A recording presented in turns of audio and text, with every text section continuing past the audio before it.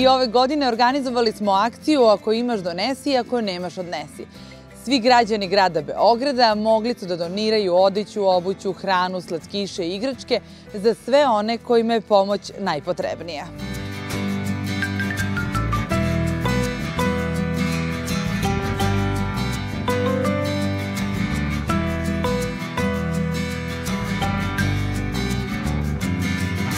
Htjela bih da se zahvalim svima koji su se odazvali. Drago nam je što smo podržali ovu akciju. Trudit ćemo se da što više organizujemo ovakve akcije. Mislim da je svako mogućnosti da pomogne, donese nešto svoje stare garderobe. Nekima to mnogo znači.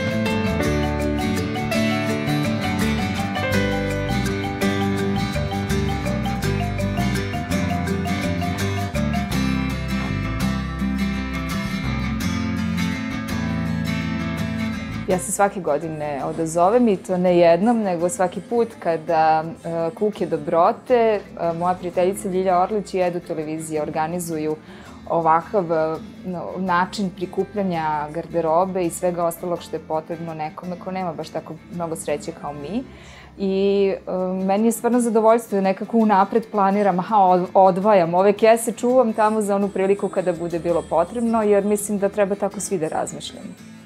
Ajde da čujem ja od tebe, pošto Vila si donao jednu kesu. Zašto si izabrao da učestvuješ u ovoj akciji? Pa saznao sam tek kad sam došao u kafić, pošto dobro volim da dođemo ovde lepo društvo u Kaldramu. Ovaj, čuo sam da se dešava akcija i uspio sam se organizovano da donesemo neku garderobu, jer uvek je lepo, mislim svi imamo pune ormare stvari, a što bi čuvali to ako nekome više treba nego nama.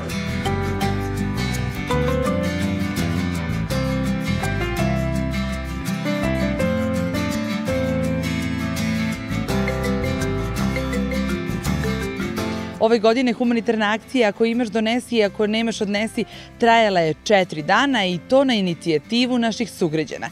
Trenutno se nalazimo ispred prihvatilišta za odrasle, tamo gde je pomoć najpotrebnija.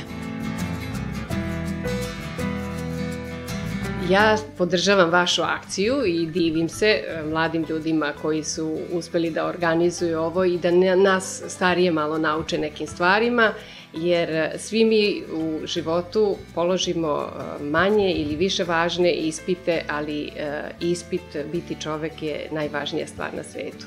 I ne treba se nikad umoriti od dobrote i činjenja dobrih dela. Šta je to što su možda vaši korisnici poželeli za ove novogodišnje praznike, pa na taj način možemo da motivišemo naši sugrađani da se upute ovde kod vas i da to donesu? Pa njihove želje su skromne. Znači, počeva od onoga da žele da, da im bude zdravlje mnogo bolje u sledećoj godini, do toga da bi želeli da budu smešteni u dom, e, pa čak i do onako nekih najjednostavnijih, e, kao što je jedna korisnica poželjela 10 cigareta u novoj godini.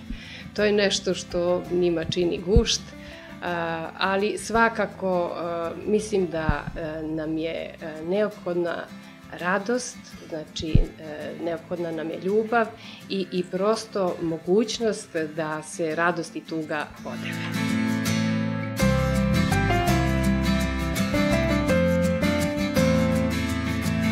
Apelovali smo sugrađanima da donesu obuću sa svratište i baš mi je drago što su sugrađani baš to doneli.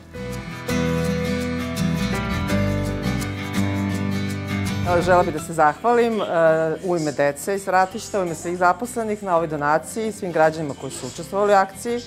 Žela bih takođe da vas pozovem da u toku uh, naredne godine uh, svakoga dana, odnosno kada goste u prilici, možete da odnesete kod nas garderobu koju su možda deca prerasla, nešto slatkiša i tako dalje. Deca se ovde kod nas kupaju i preslaču skoro svakoga dana, tako da je najpotrebnije da uvek veš, čarape i garderoba.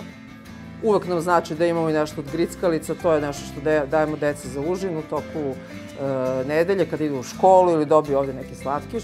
Tako da su to neke možda najvažnije stvari.